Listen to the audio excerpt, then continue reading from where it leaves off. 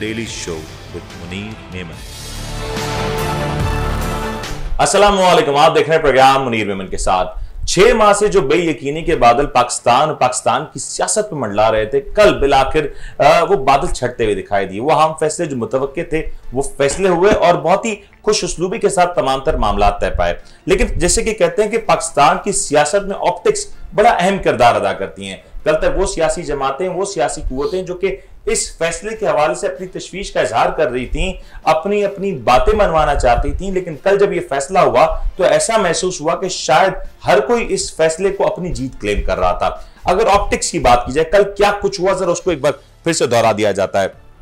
कल वज़ीर आज़म पाकिस्तान जनाब शहबाज शरीफ साहब ने चीफ ऑफ़ आर्मी स्टाफ के नाम का ऐलान किया और ये समरी भेजी गई सदर पाकिस्तान जनाब आरिफ अलवी साहब को। आम रूटीन में शायद ये होता है कि एक से दो घंटे के दौरान वो समरी जो फाइनल सिग्नेचर उसके हवाले से भेजी जाती है, उसमें दस्तखत हो जाते हैं और वो समरी वापस एक ऑर्डर के तौर पे जारी कर दी जाती है। लेकिन कल शायद कुछ ताखीर की गई। चार से छह घंटे का वक्त इसमें दरकार था और जिस तरह से देखा गया कि सदर पाकिस्तान लाहौर तशरीफ़ ले गए, वहाँ खान साहब से उनकी मुलाकात हुई, लीगल टीम से और दीगर मामला के ऊपर मुशावरत हुई और इसके बाद तमाम तर मामला को खुश उसलूबी से तय पाके ये देखने में आया कि जो ऑर्डर्स थे उनके ऊपर साइन कर दिया गया, जो सारा डॉक्यूमेंटेशन का काम था वो कंप्लीट हुआ। और रात गए, अहम मुलाकातें भी हुई और जिनमें देखा भी जा सकता है कि सदर पाकिस्तान की बॉडी लैंग्वेज भी देखें, वज़ीर आज़म की बॉडी लैंग्वेज देखें तो दोनों की बॉडी लैंग्वेज कदरे पॉजिटिव है। दोनों सियासी कैंप्स में इस वक्त ये खबर है कि जीत उनकी हुई है और जीत उनके बयानी की हुई है। दरअसल जीत किसकी हुई है? इसके ऊपर आज बात करते हैं। आज हमारे साथ प्रोग्राम में गुफ्तु करने के लिए ज्वाइन करें जनाब एम एम आलम साहब, सीनियर साफी हैं तजियाकार हैं। साथ में ज्वाइन करेंगे चौधरी नातिक उबैद साहब ही जियो पॉलिटिकल एनालिस्ट और इनसे ये भी जानेंगे कि ये जो तब्दीलियाँ हुई, इसके पाकिस्तान की जो इकतदी सूरत हाल, इसके ऊपर क्या असर पड़ेंगे? और साथ में हमें ज्वाइन करें इस्लामाबाद से जनाब सैयद रिजवान शाह साहब। और इस वक्त जो इस्लामाबाद में जो सूरत हाल जो कल जलसे के हवाले से तैयारियाँ उसके ऊपर भी बात होंगी। एम एम आलम साहब आपसे गुफ्तु का आगाज़ करते हैं। ये जो फैसला हुआ, यही फैसला होना था पहले दिन से, या कुछ और हुआ, होना था और तब्दील हुआ? देखें पहली बात तो ये कि इस अपॉइंटमेंट पे जितनी कंसंट्रेशन दिखाई सियासतदानों ने, नहीं होनी चाहिए। और ना ही इस अपॉइंटमेंट का ताल्लुक सियासतदानों से बनता है। ठीक। अब अगर हम आपने कहा कि ये फ़ैसला पहले हो चुका था या बाद में हुआ इसमें थोड़ा सा अखज़ करना मुश्किल है क्योंकि दोनों तरफ़ से आसाबी जंग थी इमरान खान साहब की तरफ़ से भी और नवाज़ शरीफ साहब की भी ये नवाज़ शरीफ वर्सेज इमरान खान फैसला हुआ है। सही। तो नवाज़ शरीफ साहब ने शायद आखिर में आके फ़ैसला ये लिया होगा कि अगर हम किसी सेलेक्ट करते हैं किसी एक शख्सियत को तो इमरान खान साहब को बोलने का मौका मिलेगा। सही। और ऐसा होता भी। उन्होंने इसी पर इतफ़ा किया कि सीनियर मोस्ट को बल्कि वो तो डबल सीनियर मोस्ट होगा क्योंकि रिटायर हो गए थे। दो दिन बाद दो दिन बाद रिटायरमेंट तो, तो उनको जो फैसला दिया है कि इनको इस पूरी टीम को सीनियरिटी के हिसाब से समरी गई है और उसको एज इट इज़ मंजूर कर लिया गया। हम्म। तो उसमें मैं समझता हूँ कि ना जीत इधर की है ना उधर की है। फैसला यही होना था कि सीनियर को लाया जाए लेकिन अब इसमें कानून साजी की भी दरकार है।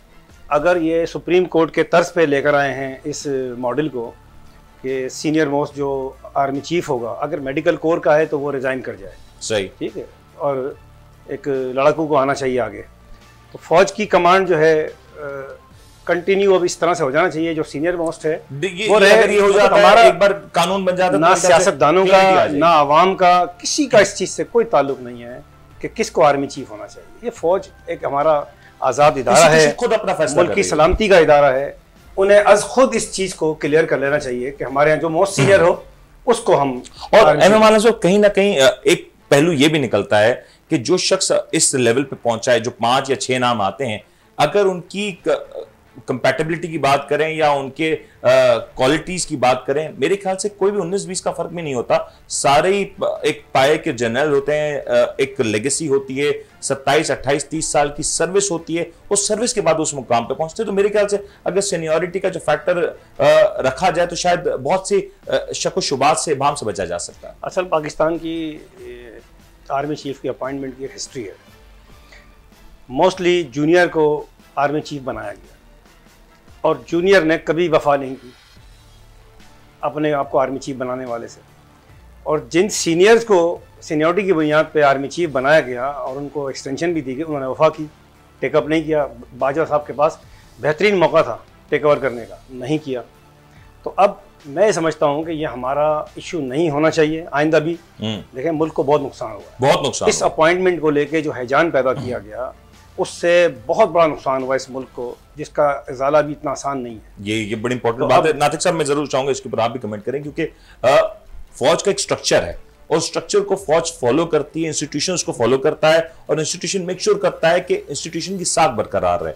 ये जो तमाम तर फैसला किया गया पॉलिटिकल क्यादत ने ऑप्टिक ज़रूर क्रिएट की लेकिन फौज का जो फैसला था दरअसल तो वही हमें रेप्लीकेट होता हुआ दिखाई दिया। अलैक्म Munir thank you for calling me M M Alam साहब बड़ा नोबल नाम है बड़ा इज़्ज़त वाला नाम है हमारे एक वॉर हीरो रहे हैं। मैं इनकी बहुत सारी बातों से इत्तेफाक भी करता हूँ और बहुत सारी चीज़ें मुझे क्लेरिफाई मैं करना चाह रहा था। आपने सवाल भी पूछ लिया। uh, जो आर्मी की अपॉइंटमेंट्स का जो स्ट्रक्चर है जो तरीक़ाकार है वो डिफरेंट है। जिस तरह हम समझते हैं आप जिस तरह आप लोग कह रहे हैं कि जी वो सीनियर मोस्ट जनरल जो है वो चीफ बन जाएगा तो उसकी बेसिकली देखिए मेरिट होता है। छह नाम तो दे दिए जाते हैं। उन छह नाम का फिर जो है वो चेक जो है वो चेक एंड बैलेंस किया जाता है। उसके कोर्सेज के ऊपर उसकी एक्सपोजर के ऊपर उसके फ़ील्ड के ऊपर उसके। हिसाब से जो है अपॉइंटमेंट होती है। जो आपने पहला सवाल पूछा था कि किसकी जीत है ये जीत सिस्टम की है जीत मेरिट की है ठीक है? मेरिट के हिसाब से चीफ जो है वो अपॉइंट हुआ। जनरल आसिम मुनीर साहब जो हैं D G I S I D G M I northern command जो है उनके पास रही गुजरांवाला की कमांड उनके पास रही।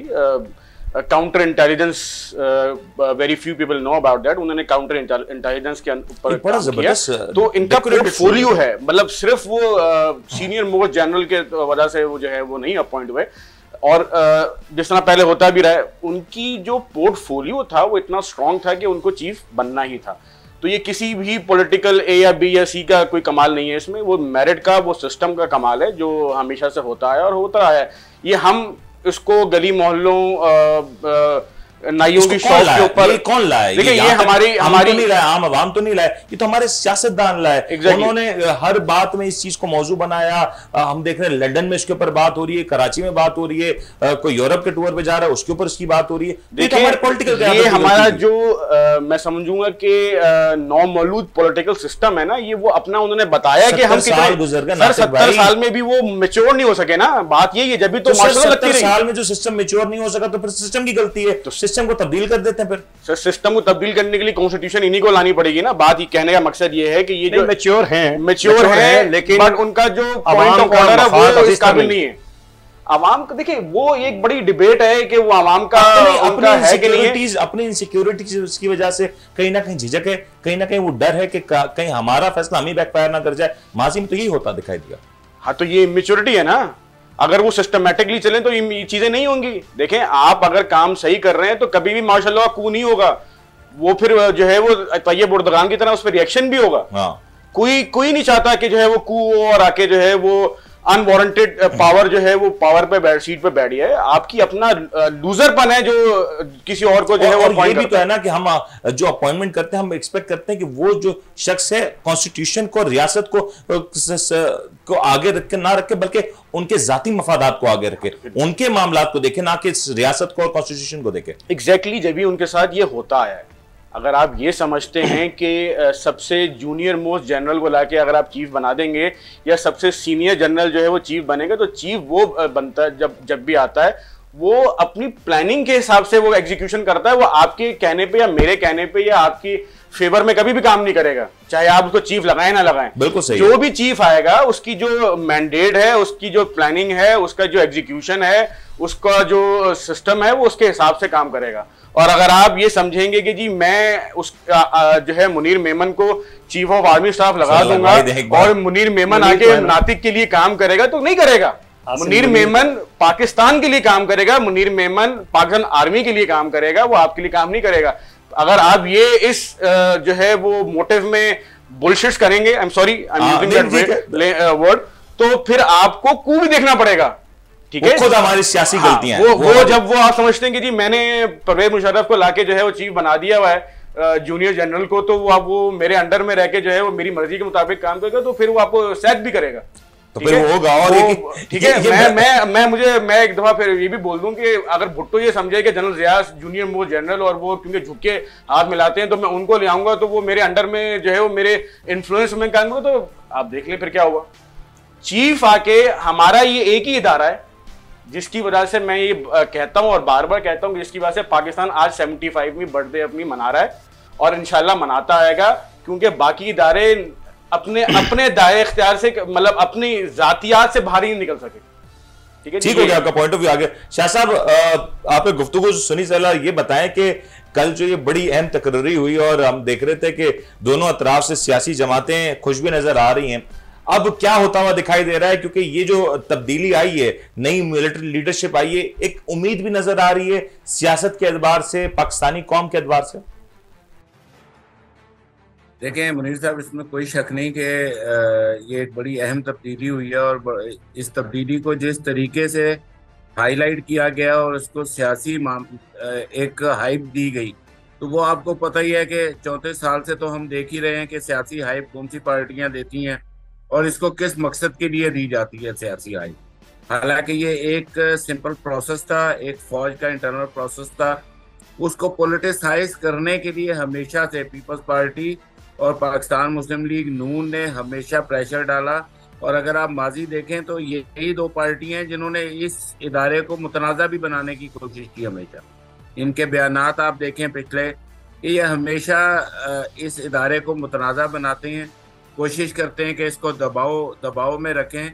लेकिन आपको ये भी याद रहा कि मुस्लिम लीग नून ने हमेशा जब भी दबाव दिया, फिर वो खुद ही जो है इस दबाव के आगे ढेर हो गए। तो शाह साहब, अब अब ये अब ये तो दबाव इस बार तो ना चल सका ना। अभी ये दबाव इस बार तो ना चल सका। जो इदारे ने फैसला किया या जो इदारे ने समरी भेजी, गालिबन ये कहा जा सकता है कि जो इदारे की मंशा थी, वही कुछ होता हुआ दिखाई दिया। तो इस बार तो मेरे ख्याल से जीत और हार की बात ही नहीं थी जैसे नातिक साहब कह रहे हैं इंस्टीट्यूशन की जीत हुई मेरिट सिस्टम की जीत हुई। देखें मुनीर साहब, हम दुनिया के आठवीं बड़ी फौज के अलहमदुल्ला जो है वो हमारा मुल्क, हमारी फौज दुनिया की आठवीं बड़ी फौज है। और हमारी इंटेलिजेंस एजेंसीज दुनिया की नंबर वन एजेंसीज में शुमार होता है उनका। प्रोफेशनल इदारा है हमारी फौज के अंदर एक डिसिप्लिन है उनका एक तरीका कार है और इस तरीका कार को मेरी नज़र में आम पब्लिक में डिस्कस नहीं होना चाहिए। हम्म, वजह यह कि बेहतरीन किस्म का पेशावर जो अवेलेबल जनरल होता है वो इस आर्मी की कमान संभालता है और पूरी दुनिया हमारी आर्मी की सलाहियतों से और अहलियत से वाकिफ़ है। हमने जंगें भी लड़ी, हमने बावजूद कम वसाइल होने के बावजूद हमने जरूरतमंदी से हमारे जवानों ने जंगें लड़ी और इस मुल्क की हिफाजत की। तो अभी सूरत हाल देखें, ये है कि जो बेस्ट से बेस्ट अवेलेबल ऑप्शन होते हैं, हमेशा उसी की चॉइस की जाती है। और जना आसिम मुनीर साहब जो है, ये आपको पता ही है कि ये माशाल्लाह एक तो हाफिज कुरान भी हैं। दूसरी, इन्होंने बहुत अहम पोस्टों पे काम किया है। D G M I D G I S I तो ये पोस्टें ऐसी होती है जिसके अंदर आपको पता है कि बहुत उसकी विजन होती है जो भी इन पोस्टों का। लेकिन लेकिन शाह साहब आपको नहीं लगता ये जो पोस्ट पोस्ट जिनकी आप बात कर रहे हैं बड़े सारे मामला को भी जानते होंगे बहुत से जो पसे पर्दा राज है उनके बारे में वो बहुत कुछ जानते होंगे तो शायद हमारी सियासी क्यादत को वो भी कुछ नागवार गुजरे। जी बिल्कुल हर दफ़ा नागवार गुजरता है ये तो हमारा माजी है। आप देख ले चौथे साल से तो नागवार ही गुजरता है। चौथे साल में नागवार हुआ, लेकिन मैं चाहूँगा, मैं आता हूँ शाह साहब आपके लेकिन मेहताब साहब एक बड़ा इंटरेस्टिंग सीन था। डीजीआईएसआई के जब ये अहदे पे तैनात रहे तो छह माह बाद इनको बरतरफ कर दिया गया, उनको उनकी जगह दूसरे साहब को ला, ले आया गया। सर, वो भी कंट्रोवर्सी तो हुई थी उस वक्त। क्या इसका असर हमें आने वाले दिनों में पड़ता हुआ नज़र आएगा? नहीं मैं फिर उसी इसको क्लेम किया जा रहा है। सियासी जमातों मैं उसी मौके पे फिर आऊँगा कि हमें इस पोस्टिंग को डिस्कस करना ही नहीं चाहिए। हम्म। क्योंकि मैं आप हम सब सुनी सुनाई पे बात करेंगे। हमने इनके साथ वक्त नहीं गुजारा कि हम इनकी मिजाज को समझें या इनके तरीक़ेकार को देखें। असल चीज़ यही है कि ये फ़ौज की कमान अच्छी चलाएँ और फ़ौज को गैर मुतनाज़ा बनाएँ। और जो फ़ौज के ऊपर इल्ज़ाम आए जो बाजवा साहब ने अपनी परसों की तकरीर में कहे हैं कि फौज पे जो इल्ज़ाम हैं तो जनरल साहब के लिए ये बड़ा सुनहरा मौका है क्योंकि ख़ुद सैयद भी हैं और हाफिज़ कुरान भी हैं। तो ये इनको साबित करना होगा कि इन्हें कम से कम इन दो पोर्टफोलियो की इन इन दो पोर्टफोलियो के इनको पास रखनी होगी। अपने कमांड के अंडर में मुतहरक खड़ी है यूनाइटेड है कोई डिवीज़न की कोई सिचुएशन नहीं है। ठीक है जनरल बाजवा ने अपने टनोर में जो काम किया, वो appropriately as per the constitution as per the legality उन्होंने काम किया और वही आगे वो जो है वो ट्रांसफ़र कर रहे हैं जनरल आसिम मुनीर के अंदर। आर्मी की इंटरवेंशन इन पॉलिटिक्स नहीं होनी चाहिए। बिल्कुल सही। पॉलिटिशियंस हमेशा आर्मी को घसीटते आए हैं अपनी न- ना एहलियों में और नाकारा नहीं नहीं ये तो आपका आपकी एक बट आर्मी फौज के लिए अच्छी विश है लेकिन हकीकत वो है जो बाजवा साहब ने कही है। एक छोटा सा ब्रेक लेते हैं क्योंकि शाह साहब मैं आपकी तरफ़ आता हूँ। शाह साहब मैं आप ही से शुरू करूँ मुझे ब्रेक लेने का कहा जा रहा है। एक ब्रेक लेते हैं जी ब्रेक का हाजिर हो आप देख रहे हैं the daily show with Munir Memon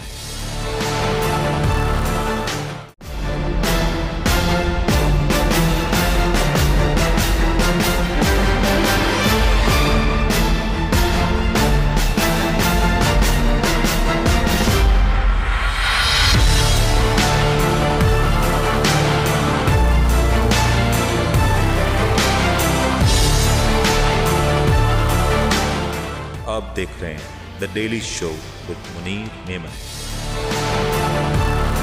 Programme में आपको एक बार फिर से खुश आमदीद कहते हैं, जरा अब तस्करा करते हैं कि जो कुछ होना था, यकीनी तौर पे हुआ और अब आगे बढ़ने की बात की जाती है। लेकिन एक सवाल यह है कि क्या पाकिस्तान में जो मौजूदा सियासी दर्जा हरारत है, वो अब इस तमाम तर डेवलपमेंट के बाद मद्दम होता हुआ नज़र आएगा कि हमारी पॉलिटिकल क्यादत सही मानों में वो पॉलिटिक्स करती हुई नज़र आएगी कि ये पॉलिटिक्स आवाम की फलाह बहबूद के लिए और डेवलपमेंट का काम हो और फिर सियासत में अहम जो मसला होता है कि पॉलिटिक्स में सबसे बड़ी चीज़ होती है कि इलेक्शंस की तैयारियाँ, वो इलेक्शन की तैयारियों का मरहला कैसे होगा। इसके ऊपर बात करें साहब ब्रेक से पहले जरा कुछ गुफ्तु हो रही थी, मैं चाहूँगा पहले उसके ऊपर बात कर लें, फिर इस सवाल का जवाब दीजिएगा।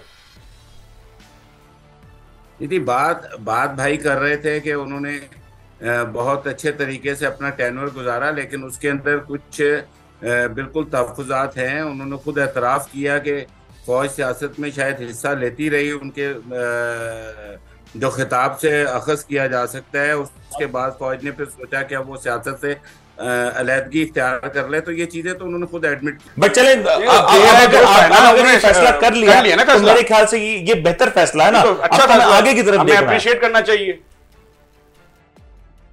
जी जी आगे चले बात करें आप। नहीं नहीं मैं यही कह रहा हूँ। सर एक अच्छा फैसला हुआ। उसको सराहना चाहिए अब उसको आगे की तरफ़ लेके चलना चाहिए मेरे ख्याल से तो। जी जी बिल्कुल बिल्कुल अब हमें आगे देखना चाहिए। अब नए चेहरे हैं हमारे नए आर्मी चीफ आ चुके हैं और हम इंशाल्लाह उम्मीद रखते हैं कि वो आवाम की तर्जमानी भी करेंगे आवाम का जो है मदावा भी करेंगे और मौजूदा सियासी सूरत हाल के अलावा इस वक्त जो सबसे परेशान कन सूरत हाल है जिसका बहुत कम लोग तस्करा कर रहे हैं माशी वो सूरत है है हमारे माशी हालात का। माशी हालात बहुत खौफनाक हद तक गिर चुके हैं। बड़ी संगीन सूरत हाल है पाकिस्तान की माशियत की और इसके ऊपर बहुत ज़्यादा उन्हें काम करना पड़ेगा और इसके लिए सबसे ज़रूरी है कि मुल्क के अंदर जो सियासी एक बहरान है उसका खात्मा किया जाए और आपस में बिठाकर एक सोचा जाए कि इस मुल्क को किस तरीके से शाह साहब कौन बिठाने वाला है? ये तो बताएँ बिठाएगा कौन? कैसे बिठाएँगे? सर बैठता तो कोई भी नहीं है। बिठाना ही पड़ेगा। सर ये कौन बिठाएगा? फिर सर बिठाएँगे तो फिर कहेंगे कि मुदाखलत हो गई। नहीं ये ये देखें अब अब मेरा ख्याल है कि जो मौजूदा हुकूमत है उसने सात आठ माह में नौ माह के अंदर अ, कोई परफॉर्मेंस नहीं दिया। नज़र आया कि ये अपने ज़ाती मुफादात जो है उसका तहफ़ करते रहे हैं। इन्होंने अपने केसेस माफ़ कराए हैं। इन्होंने पाकिस्तान के लिए कुछ नहीं किया, पाकिस्तान की इकॉनमी के लिए कुछ नहीं किया। दो दो इन्होंने वज़ीर ख़जाना चेंज किए लेकिन कोई उसका हासिल रसूल पाकिस्तान के अवाम को नहीं हुआ। महँगाई उसी तरह है माशी बहरान उसी तरह बढ़ता जा रहा है। जो हमारे ज़खायर हैं, वो बिल्कुल डाउन हो गए हैं अभी। पाँच दिसंबर को पाकिस्तान ने एक इशारिया तीन बिलियन डॉलर बड़ी की सूरत में वापस करना है। तो ये बड़े संगीन हालात है। मेरा ख्याल है अ, जिस तरह एक नए आर्मी चीफ आए हैं उस तरह आप कौम जो है ना इंतखाबात की तरफ़ भी जाना चाहती है और कौम को ये बड़ा वैलिड पॉइंट है। शाह साहब आपने इंतखाबात का तस्करा किया। ये एक बड़ा वैलिड पॉइंट है। मैं चाहूँगा नातिक भाई से भी बात की जाए। नातिक साहब ये बताएँ एक नई फौजी क्यादत आई। हमने देखा कि लोगों में एक बड़ी होप है। लोग एक फ्रेश फेस देख रहे हैं, एक फ्रेश एक पॉलिटिक्स देखेंगे, फ्रेश मिलिट्री क्यादत देखेंगे। अब क्या इलेक्शंस की अगर हम बात करें इज़ इट अ टाइम कि यार अब पॉलिटिकल क्यादत को बिठाया जाए एक इलेक्ट्रोल प्रोसेस की तरफ़ बढ़ा जाए ताकि जो हमारी सियासी क्यादत है, वो भी क्लियर मैंडेट के साथ है। क्योंकि इस वक्त जो सियासी क्यादत मौजूद मौजूद है, उसको इंटरनेशनली भी उस तरीके से एक्सेप्टेंस नहीं मिल रही। हम देख रहे हैं कि शहबाज शरीफ साहब ने मुतद दौरे किए। मुतद बार कहा गया कि फला साहब आ रहे हैं, फला साहब आ रहे हैं। लेकिन ऑन ग्राउंड कुछ भी होता हुआ नज़र नहीं आ रहा। इज़ इट अ टाइम कि अब हम इस तरफ़ आगे बढ़े कि अगले दो या तीन माह डेवलपमेंट के ऊपर काम करें और फिर इलेक्शन की तरफ़ बढ़ते हुए दिखाई दें। देखिए हम ऑटोमेटिकली इलेक्शन की तरफ़ बढ़ चुके हुए हैं। But still there is a time ना हमारे पास वक्त नहीं है वेस्ट करने के लिए। अगर हम अगस्त की बात करते तो हम सात से आठ माह जाया तो नहीं कर सकते। अगर तो इस पॉलिटिकल क्यादत के पास ऑप्शन है। आप मुझे एक बात बताइए कि अगस्त का अगर टाइम है इलेक्शन का तो आप हम ये चाहते हैं अब जैसी भी गवर्नमेंट है अच्छी है ऑप्शन चाहत की बात नहीं इट्स एन ऑप्शन ऑप्शन में भी मतलब हम एक गवर्नमेंट को वही वाली बात के रिजीम चेंज वाली सिचुएशन और उसको हम गिरा के दूसरी को खड़ी कर दें तो ये नहीं होना चाहिए ना। अब अगर वो अपना जो है वो नहीं दे रहे अपना जो है वो साहब आता हूँ साहब आपकी तरफ़ आता अपने जो है वो नहीं फुलफिल कर रहे तो but let them complete their time साहब मैं आपकी तरफ़ आता हूँ। और अपने टाइम से जो है वो इलेक्शन का टाइम आए इलेक्शन हो इज़्ज़त से और नई लेकिन मेच्योरिटी की बात हो रही है ना अभी हम बात करें मेच्योरिटी की हम बात करें पाकिस्तान की अभी हम देख रहे हैं कि पाकिस्तान जिस दाने पे खड़ा हुआ है शायद ये क्लैरिटी हो जाए या तो सारी सियासी जमातें फिर मिलकर एक बात को डिसाइड कर लें कि ठीक है हम अगस्त तक जा रहे हैं और ये इलेक्शन अगस्त में होने हाँ। जा रहे हैं। ये भी पॉसिबिलिटी है। जो सस्टेनेबिलिटी है ना अगर चीज़ें नॉर्मलाइजेशन की तरफ़ आ जाए तो ऑटोमेटिकली इकोनॉमिक सिस्टम सब चीज़ें भी सेटल होना शुरू हो जाएँगी। ये जो खेंजा तानी टग ऑफ़ वॉर लगी हुई है ए एंड बी के बीच के अंदर इसकी वजह से यही इसी तो वजह से तो हमेशा रही है। देखिए रही है बट ऐसी नहीं रही।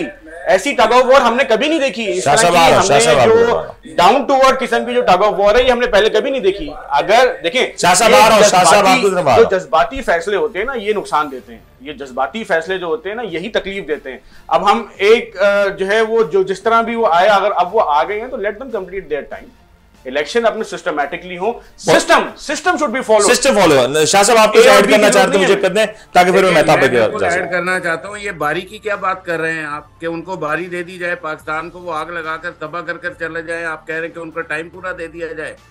बट सर इलेक्शन सर हमारा सिस्टम है? ना। सर कॉन्स्टिट्यूशन अगर उनको वक्त दे रहा है तो हम कुछ नहीं कर सकते। भाई है पाकिस्तान के ऊपर वारिद हो गई है।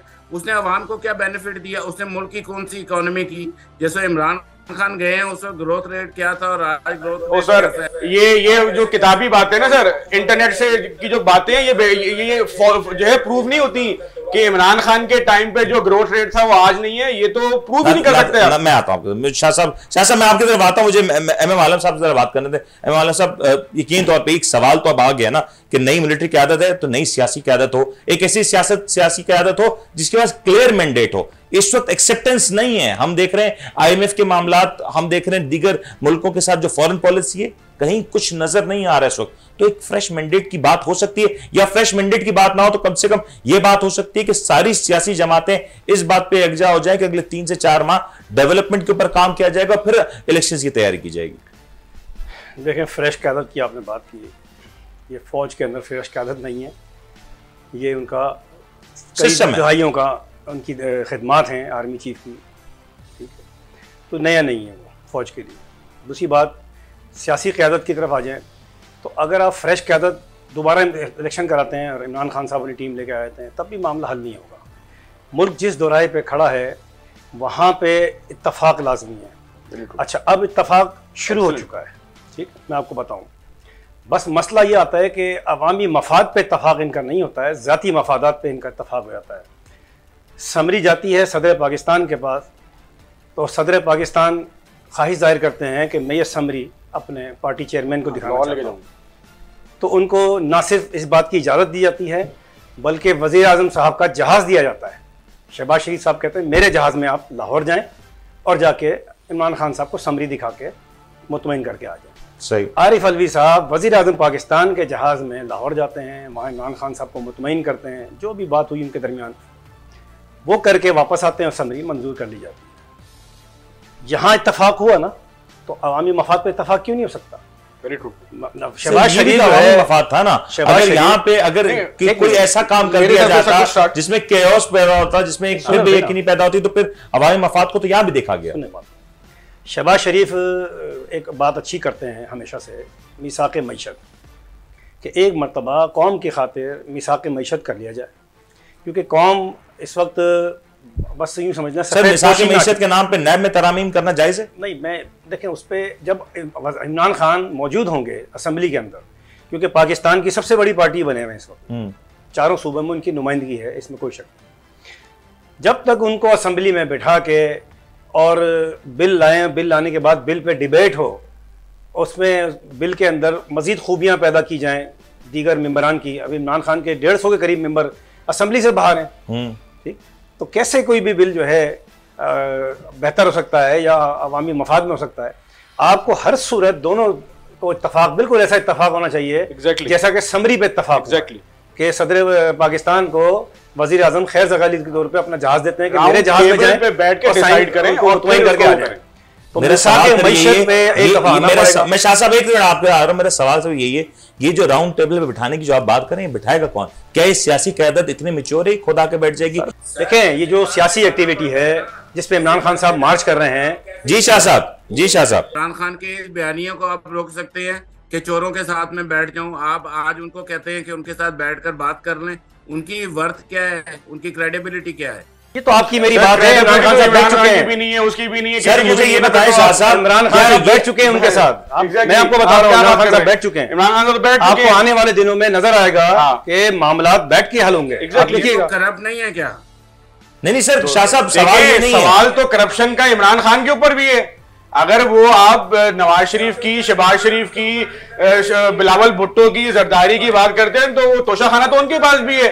उनके ऊपर भी बहुत सारे केसेस हैं। तो बात यह है कि अगर पॉलिटिशियन है, चाहे वो जो भी है, अगर वो एक टेबल पर बैठ के इंसानों की तरह डिसिप्लिन कॉम की तरह अगर बैठ के फैसला कर सकते हैं तो उनको फैसला करना चाहिए। इस कॉम के लिए, इस मुल्क के लिए। हम फिर घूम फिर के जो है वो उनको ले चले जाते हैं जीएसक्यू के ना जीएसक्यू ना जाए सर। आप पार्लियामेंट के मामला पार्लियामेंट में हल करें। नहीं नहीं अभी भी गेट नंबर चार से मसला हल होगा। तो गलत है ना? होगा। फिर इसका मतलब है मतलब फेल्ड है। फिर तो गेट नंबर चार ही को बैठना चाहिए वहाँ पे। लेकिन ना ये ये ये ये सोच गलत है। इमरान खान साहब भी इस सोच से वापस आ रहे हैं कि ये इम्पोर्टेड हुकूमत चोर डाकू। Exactly Exactly. इससे इमरान खान साहब भी पीछे इसके ऊपर आना है और और क्या आने वाले दिनों में इस- मैं इस सवाल छोड़े ब्रेक पे जाता हूँ कि क्या आने वाले दिनों में तहरीक इंसाफ की क्या हमें फिर से पार्लियामेंट में जाती हुई नज़र आएगी कि नहीं? इसके ऊपर बात करेंगे। ब्रेक लेते हैं जी ब्रेक कर रहा ज़रूर। आप देख रहे हैं the daily show with Munir Memon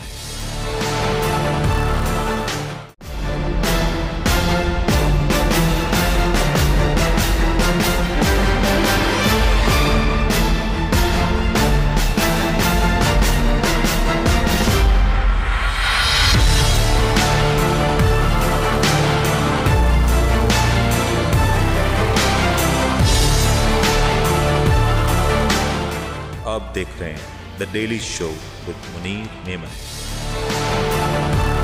programme में एक बार फिर से आपको खुश आमदीद कहते हैं, जरा सियासी दर्जा हरत के ऊपर बात करते हैं। कल जैसे कि कहा जा रहा है कि तहरीक इंसाफ इस्लामाबाद से बिल्कुल करीब फैजाबाद पे अपना पावर पावर शो करना चाहती है। मरी रोड के ऊपर जो जलसे के हवाले से तैयारियाँ हैं, तहरीक इंसाफ का क्लेम यह है कि वहाँ पे खेमा बस्तियाँ बना दी गई हैं और एक लॉन्ग टर्म प्लानिंग भी तहरीक इंसाफ की नज़र आती है। शायद वो जलसा हो, शायद वो धरना उसके बाद हवाले से तहरीक इंसाफ की जो लीडरशिप है, उसने अभी तक कोई क्लियर बात नहीं की। जबकि इस्लामाबाद की जो इंतजामिया है, उसने छप्पन शराय आयद किए हैं और इस बात को क्लियरली कहा कह दिया गया है कि ये जो तमाम तर एक्टिविटी है वो 26 तारीख की रात को ही मुकम्मल तौर पे समेटी जानी है। ये तमाम तो सूरत हाल कहाँ पहुंचेगी और क्या आने वाले दिनों में हमें ये देखने में आएगा कि तहरीक इंसाफ फिर से पार्लियामेंट का रुख करती है या नहीं? इसके ऊपर बात करें शाह साहब जरा ये बताएँ कि इस वक्त इस्लामाबाद में क्या हो रहा है? अ, मरी रोड के ऊपर क्या एक्टिविटीज़ हो रही है? तहरीक इंसाफ क्या क्लेम कर रही है? इस्लामाबाद की अपनी इंतजामिया क्या क्लेम कर रही है? देखिए ये जो जलसा गाह बनाया गया है या स्टेज जहाँ पर बन रहा है ये मरी रोड है जो पंजाब गवर्नमेंट के हद में आता है। इसका इस्लामाबाद से कोई ताल्लुक नहीं है ये फैजाबाद से पहले है ये जितना भी जलसा गाह बनाई गई है। तो इसमें मुझे नहीं लगता कि इस्लामाबाद को को कोई मतलब अपने तौर पर डीसी इस्लामाबाद में भी तो छप्पन शराय panic आयद चाहिए। की है ना उस पर नहीं उनका तो स्टेज उखाड़ दिया उनका स्टेज उखाड़ दिया जी। जी गवर्नमेंट ने उठाया। और वो इमरान खान के हेलीकॉप्टर जो है जी शाह साहब आप कंटिन्यू करें। जी तो ये सारा जितना भी शो हो रहा है ये रावलपिंडी के अंदर हो रहा है। इसके अंदर इस, इस्लामाबाद उनका जाने का इरादा नहीं है। सिर्फ़ ये है कि परेड ग्राउंड के अंदर इस्लामाबाद में हेलीकॉप्टर ने लैंड करना है और वहाँ से इमरान खान साहब ने अपने कंटेनर तक बाय रोड आना है। खान साहब आ रहे हैं कल जलसे में ये बता दें। ये ये खबर क्या है इस हवाले से? खान साहब कल हमें रावलपिंडी में कंटेनर्स के ऊपर नज़र आएँगे जलसा गाह में नज़र आएँगे? जी जी बिल्कुल खान साहब बिल्कुल रेडी हैं आने के लिए। खान साहब जलसा गाह में भी मौजूद होंगे और काफ़ी इस वक्त जो मुसदा इतलात मिल रही हैं एक बहुत लोगों की बड़ी तादाद जो है वो रावलपिंडी का रुख कर रही है और काफ़ी काफले उधर रावलपिंडी शाह साहब ये भी बताइएगा कि तहरीक इंसाफ क्लेम कर रही है कि बता दूँ मैं कि लामा इकबाल पार्क जो है उधर एक खैमा बस्ती बनाई गई है जहाँ पर तीस से चालीस हज़ार के लोगों के लोगों के रहने का इंतज़ाम भी किया गया है। तो ये मुझे नहीं लग रहा कि ये खाली एक जलसा होगा शायद ऐसे लग रहा है कि जलसा एक सिटिन में तब्दील हो जाएगा एक धरने में तब्दील हो जाएगा। तो धरने का मतलब क्या होगा? धरने के बाद मुतालबात क्या होंगे? क्या यही होगा कि नए फ्रेश इलेक्शन कराए जाएँ या कोई और मुतालबात होंगे? मुतालबा यही है जी कि फ्रेश इलेक्शन करवाए जाएँ साफ़ और शफाफ इलेक्शन का इनका किया जाए और उसके लिए शायद इलेक्शन कमीशन के कमिश्नर के मुस्ताफी होने का मुतालबा भी पेश किया जाए। और आपको लगता है इस मुतालबे में तहरीक इंसाफ के पास कोई उम्मीद है कि इस मुतालबे की रोशनी में तहरीक इंसाफ वहाँ से कुछ हासिल करके निकल सकेगी? यार अल्टीमेटली जो हालात सियासी हैं वो एक बिल्कुल जमूत की कैफियत इख्तियार करते जा रहे हैं और उस जमूत को तोड़ने का उस बुरहान से निकलने का वाहिद रास्ता है इस वक्त फ्री एंड फेयर इलेक्शन मैं एम एम आलम साहब मैं चाहूँगा इसके ऊपर आप ज़रूर कमेंट करें। ये जो कल होने जा रही एक्टिविटी आज से हम देख रहे हैं मोबिलाइजेशन शुरू हो चुकी है। अब क्या होता हुआ दिखाई दे रहा है? कल ये जलसा होगा धरने में तब्दील होगा। कल खान साहब की जो स्पीच होगी वो बड़ी अहम होगी। क्योंकि उस स्पीच में क्या फिर वो रिजीम चेंज का तस्करा होगा फिर वो मुदाखलत और साजिश का तस्करा होगा? किस चीज़ का तस्करा होने जा रहा है? खान साहब के पास कोई नई चीज़ तो है नहीं। वही पुरानी चीज़ें डिस्कस होंगी। दूसरी बात यह है कि ये सियासी हक है उनका कि वो धरना भी दें और जितना चाहे दें। उनका हक है। लेकिन मैं अपने जो टाइम है इस मुद्दा कॉलिशन गवर्नमेंट का उसको पूरा होता हुआ देख रहा हूँ। हम्म। खान साहब जो है एहतजाज रिकॉर्ड करेंगे और एक सियासी जमात और एक सियासी रहनुमा के तौर पे ये उनको कराना भी चाहिए। हम्म। क्योंकि वो ये समझते हैं कि एक फ्रेश मैंडेट जो है इस मुल्क का हल है मीशत का भी हल है सियासी बहरान का भी हल है दूसरा बहरान तो हल हो गया। तो वो बात उनकी दुरुस्त है कि फ्रेश मैंडेट सवाल हाँ। सवाल छोड़ देता हूँ आपको। मुझे बता दें वो जो कहा जा रहा था जो तेरह जमातों जिस गोंद ने चिपका के रखा था क्या वो गोंद अभी बरकरार है आने वाले दिनों में रहेगी अपने टाइम पर इलेक्शन होंगे। इलेक्शन पहले नहीं होते। ये तो आप भूल जाए इलेक्शन पहले नहीं तो फिर आगे चल के क्या हम ये देखेंगे जल्द से एक सियासी जमात तहरीक इंसाफ जो है स्ट्रगल करती रहेगी इलेक्शन के लिए एक साल तक। इसे भूल जाए इलेक्शन वक्त पर होंगे। सर उनका तजिया है ना शाह शाह साहब एम एम आलम साहब का वो तजिया है। नहीं अभी देखें तहरीक इंसाफ के रहनुमा है तो ज़रा इनकी नहीं रहनुमा ये भी नहीं है ये तो तहरीक इंसाफ से वाबस्तगी नहीं है इनकी। अच्छा, अच्छा, सर मुझे तो आप लग रहे हैं मुतहदा गवर्नमेंट के जो है ना रहनुमा। अच्छा। सर वो अब आप दोनों लगना लगाना छोड़ दे जरा इसके ऊपर आ जाए नातिक साहब। What's going next what's going to happen next क्योंकि क्या तहरीक इंसाफ पार्लियामेंट वापस आ रही है आपको लग रहा है ये? देखिए जी तहरीक इंसाफ अगर पार्लियामेंट वापस नहीं आएगी तो ये इनकी सियासी खुदकुशी है। ये ऑलरेडी ऑलरेडी कर चुके हुए हैं, सियासी खुदकुशी। बेसिकली बात एग्जैक्टली exactly सेम है कि ये टनोर पूरा होगा, फिर इलेक्शन होंगे, जिस तरह होना है। इमरान खान के पास कोई नया स्टोरी नहीं है स्टोरी लाइन नहीं है। स्टोरी लाइन उसकी ऑलरेडी फेल हो चुकी हुई है नए चीफ के आने के बाद। बट एक स्टोरी तो है ना कि इकोनॉमी के फ्रंट पे डेवलपमेंट के फ्रंट फ्रंट पे खान साहब इस हुकूमत को तनकीद का निशाना बना सकते वो इंडिया के जो ड्रामे होते हैं सास भी बहुत ही वो वाला गेम तो वो खेलते आ रहे हैं अभी भी वही खेलेंगे साढ़े तीन साल में जो जितने टाइम इन्होंने हुकूमत की जो इकोनॉमी की हालत इन्होंने की जो डॉलर की प्राइस जिधर ये लेके गए पेट्रोल की प्राइस जिधर ये लेके गए वो आज भी उसी को सस्टेन कर रहे हैं ना। असल में तो उनके पास तो कुछ भी नहीं है। माजत के साथ। कॉलिशन गवर्नमेंट की एक सोच है। कॉलिशन गवर्नमेंट की एक सोच है कि हम आप मुझे ये बताएँ क्या डॉलर का रेट पेट्रोल का रेट पिछले इमरान खान के दौर में नहीं बढ़ा था? सर कोई खुदा का खौफ करे स्टेट्स तो अपने दुर वो तो खौफ तो कर लिया ये बताएँ कि बढ़ा नहीं बढ़ा? था और आज आप कितने लीटर पे ले रहे हैं सर? सर खौफ तो कर लिया ये बताएँ लीटर तो अभी ज़ाहिर है जिधर वो ले गया तो उसके बाद तो उधर ही जाना था ना। मस्त कर रहे हैं। वो मस्त क्यों कर रहे हैं। वो सर आज दो सौ पच्चीस रुपए पर लीटर अगर मिल रहा है तो क्या ये ये वाली हुकूमत लेके आई है या इमरान खान से पहले वाली हुकूमत लेके आई थी? ऐसा नहीं होगा आपके कहने से दिन रात सर, आपके कहने से शाह नहीं होगा साहब साहब आपकी तरफ़ आता हूँ। एवं आलम साहब आप शाह साहब मैं आपकी तरफ़ आता हूँ। शाह साहब। कराने के बाद ओ नहीं सर सर आप फैक्ट्स में हैं सर फैक्ट की बात करें। सर आप मुझे ये बताएँ समझता हूँ। ये 225 में जो आज हम पेट्रोल खरीद रहे हैं क्या ये पिछले साढ़े तीन साल में नहीं आया था? शाह साहब मैं आपकी तरफ़ आता हूँ। जी- जी मैं आलम साहब अगर इमरान खान साहब होते तब भी रेट यहीं पे आना था। उसकी वजह ये है कि हमारे माशी स्टेबिलिटी नहीं है। अब मैं जो बात कह रहा हूँ कि ये जो हुकूमत है जो तेरह जमातों की ग्यारह जमातों की हुकूमत है इनकी सोच ये है कि हम वक्त के साथ साथ अपने आप को दुरुस्त कर लेंगे। वक्त के साथ साथ हम मुल्क को स्टेबल कर देंगे। सोच है इनकी और इसी सोच से ये छह महीने से चले आ रहे हैं लेकिन कर नहीं पा रहे। इसाक डार साहब को लॉन्च किया गया और इस बुनियाद पे लॉन्च किया गया इस सोच पे लॉन्च किया गया कि देखिए आज के बाद टाइम जो है ना वो IMF के साथ इतना इतना जो है वो वो हो चुका हुआ है कॉम्प्रोमाइज हो चुका है कि आप अब वो वाला मेरा सवाल यही है कि अगर ये जो इस वक्त जो परफॉर्मेंस है इन तेरह जमातों की इस परफॉर्मेंस के बाद तो आप इलेक्शंस अगर जब भी होंगे आज जो इस वक्त वेव है हो सकता है वेव खान साहब की मजीद मेरा तजिया ये है कि ये इलेक्शन अगले साल अगस्त से पहले नहीं कराएँगे लेकिन इसी तरह से ही चलते रहेंगे मुल्क को और अगर अगले साल इसी तर्ज की सियासत करते हुए इलेक्शन हुए तो फिर नतज क्या होंगे? नताइज तो सबके सामने जो पिछले महीने हुए हैं चाहिए। वही 2023 में होंगे। आवाम जिसको चाहे वो इलेक्ट करे। जो नताइज इमरान खान साहब ने आठ में से सात सीटें खुद जीती अपने नाम पे यही नताइज ये- दो हज़ार तेईस में मिलेंगे सियासी खुदकुशी की तरफ़ क्यों बढ़ रही है? बस वो उनकी एक सोच है कि हम ठीक कर देंगे। वो शाह सोच साहब पे आपको लगता है ये हुकूमत ठीक कर लेगी नहीं कर कर सकते। ये ये ये उनकी सोच के जो है ना दिमाग के लोग अभी भी पाकिस्तान के अंदर मौजूद है जो ये समझते हैं कि नवाज़ शरीफ आएगा और पाकिस्तान को पेरिस बना देगा फ्रांस बना देगा सुपर पावर बना देगा जबकि वो उधर पिज्जा खा रहे हैं कौम के पैसे लूट कर और उनके जो है ना बयानियों को इधर पाकिस्तान के अंदर लोग सपोर्ट करते हैं। ठीक हो गया एजाज साहब आपका पॉइंट आ गया मेरे पास प्रोग्राम का। नातिक साहब लास्ट कमेंट में चाहूँगा ताकि इसको रैप कर सके। इस वजह से वो इलेक्शन से भाग रहे हैं। ठीक हो गया शाह साहब मैं मैं प्रोग्राम का वक्त अपने एंड पे आ रहा है नातिक साहब मैं चाहूँगा लास्ट एट द एंड मैं ये कहना चाहता हूँ कि तमाम पॉलिटिकल पार्टीज़ को मेच्योरिटी का इजहार करना चाहिए। देखिए इलेक्शन में वो जीतेगा जिसको आवाम चाहती है जीते ठीक है? चाहे वो इमरान खान हो चाहे वो नवाज़ शरीफ हो बट डू यू थिंक मेरा सवाल यही है कि इस परफॉर्मेंस के साथ अगले सात माह अगर ये गवर्नमेंट गुजार देती है तो it's going to get worst with the time क्या ये गवर्नमेंट सियासी खुदकुशी करने जा रही है? क्योंकि फिर तो ये होगा ना कि अगर इलेक्शंस में ये हुकूमत नाकाम हो जाएगी तो फिर हमारे यहाँ तो जो सियासी क्यादत है उनका निशाना वही वो लोग होते हैं जिनको ये ला, लाते हैं। फिर तो ये हाँ, निशाना बनता हाँ है। अगर वो सियासी खुदकुशी उन्होंने की है तो let them let them face the music लेकिन उनकी सियासी खुदकुशी का जो कॉस्ट है वो तो पाकिस्तान की कौन को भुगतनी पड़ेगी ना। देखिए जी सियासी खुदकुशी का कॉस्ट पाकिस्तान आवाम जो है वो आज भी भुगत रही थी इनकी खुदकुशी से पहले ही भुगत रही थी। हम्म। ठीक है जो इकोनॉमिक सिचुएशन है इसके पीछे बहुत सारे पॉइंट्स हैं जिनको हमें डिस्कस करना पड़ेगा इकोनॉमी की सिचुएशन के लिए। ठीक है?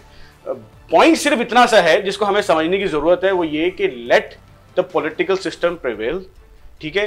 इमरान खान अपने वॉट एवर कॉस्ट देखिए कॉस्ट तो भुगतनी पड़ेगी। वो डॉक्टर एस अहमद कहते हैं कि कभी भी जो इनकलाब है वो खून के बगैर नहीं आता। तो कभी भी कौमें ऊपर चाइना ने तरक्की की। चाइना ने एक टाइम पे जो है सिर्फ़ सफ़ेद कपड़े पहने। ठीक है? उन्होंने भी ये एक्सपेरिमेंट्स करके वो आगे गए। ठीक हो तो गया, ठीक है, उन- जिस- उनकी क़यादत कोई ने कौम- कर दिया ना। कोई कौम जो है कोई कौम ऐसा नहीं है कि वो from the beginning till today जो है वो उसका ग्राफ जो है वो ऊपर था। ग्राफ ऊपर नीचे आते जाते हैं सर हमारा ग्राफ नीचे नीचे ही जा रहा है। सब लास्ट कमेंट प्लीज़ देखें अ, असल तो है कि आवाम के दुखों का मदावा होना चाहिए। और उसका मदावा ऐसे होगा कि ये दोनों पार्टियाँ एक साथ मिलकर बैठ जाएँ। कम अज़ कम आखिरी सेशन जो है छः आठ महीने का इसमें बैठ जाएँ लेकिन ऐसा होगा नहीं। सर, इमरान खान साहब ये समझते हैं इमरान खान ये समझते हैं कि इस गवर्नमेंट को अगर ज़रा सा भी रिलैक्सेशन दे दिया और इसने कुछ काम कर दिखाया तो उनकी लिए मसाइल खड़े होंगे। क्योंकि इलेक्शन बहुत करीब हैं। अगर इमरान खान साहब का मुतालबा मान लिया जाए या ना माना जाए तो भी करीब है। और- साल पता नहीं चलेगा गुजरते हुए तो ग्यारह महीना हो गया। से बात काट रहा हूँ। ये इमरान खान की भी खुदकुशी होगी कि अगर इमरान खान जो है वो टाइम से पहले जो है वो इलेक्शन कॉल करवा ले और इलेक्शन हो जाए। ठीक है, तो ये इमरान खान की भी खुदकुशी ये तो इमरान खान की खुदकशी नहीं होगी। उनको तो अगर आज इलेक्शन हो। जाते हैं आज इलेक्शन फिर फिर इन पार्टीज़ को इन इन पावर्स को जो है वो मौका दे रहे हैं कि वो ये कह रहे हैं। कर लें। अगर आज इलेक्शन करा दिए जाते हैं तो मैं समझता हूँ कि जो मुस्लिम लीग नून का गढ़ है पंजाब वहाँ से इमरान खान क्लीन स्विप करेगा। क्लीन स्वीप करेगा। क्लीन स्विप करेगा। ठीक हो गया। एम साहब का पॉइंट आ गया और यकीन तौर पर आज की जो गुफ्तु थी, उसका एक्चुअली क्रश भी ये था कि आने वाले चार से छह माह पाकिस्तान में सियासत के अतबार से बहुत अहम होने जा रहे हैं। लेकिन आज और कल में जो डेवलपमेंट्स होनी है, वो यकीन तौर पर इस बात को वाजे तौर पे ज़ाहिर कर देंगी कि क्या होने जा रहा है? खान साहब की कल की जो स्पीच होगी, कल जो तरीके इंसाफ का जलसा होगा, या धरना होगा, या जो बॉडी लैंग्वेज है, वो खान साहब के लिए आने वाले छह माह जो सियासी कैंपेन होगी, जो इलेक्शन इलेक्शन कैंपेन होगी, उसका तयन करेगी। क्या तरीके इंसाफ कल एक नॉर्मल सा जलसा करके फिर घरों को रवाना हो जाती है, या खान साहब फिर से एक एग्रेसिव फास्ट बॉलर की तरह एक एक बड़ी नपीतुली और एग्रेसिव तकरीर करते हुए अपनी सियासी कैंपेन का, अपनी इलेक्शन कैंपेन का आगाज़ करेंगे? और इसके बाद ही इस तमाम सियासत का रुख तय होता हुआ दिखाई देगा। उम्मीद करते हैं आपको आज का प्रोग्राम पसंद आएगा अपने मेजबान उनको इजाज़त दीजिए। अपना ख्याल रखेगा अल्लाह हाफिज़।